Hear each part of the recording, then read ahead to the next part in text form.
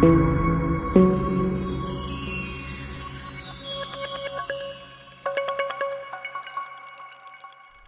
hallo zusammen. In der heutigen Produktvorstellung möchte ich euch unsere neue Rudentasche bzw. zwei Rudentaschen vorstellen.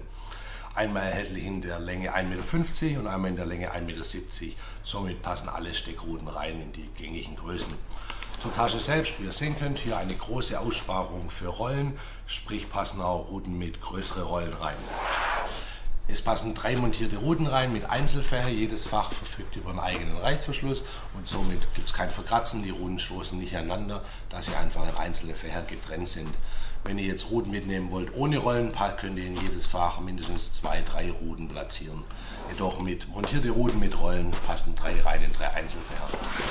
Zusätzlich hat es an der Seite zwei große Taschen, wie ihr sehen könnt, für Rutenhalter, für Banksticks, für eine kleine Tacklebox und so weiter, super geeignet. Tragen könnt ihr die Tasche mit den zwei Tragegriffen hier oben, sowie auch als Rucksacksfunktion, wie jetzt auf der Unterseite hier zu sehen. Wenn ihr jetzt angeln geht und ihr habt noch eine Tasche dabei oder einen Eimer und so weiter und ihr braucht die Hände frei, könnt ihr die Taschen auch ideal als Rucksack aufsetzen. Die Taschen sind gut geschützt, also im hochwertigen, stabilen Material. Dadurch sind die Rollen und die Ruten innen drin gut geschützt. Gut vom Transport zum Angeln.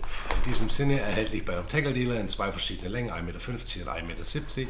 Und viel Spaß beim Angeln und Petrial.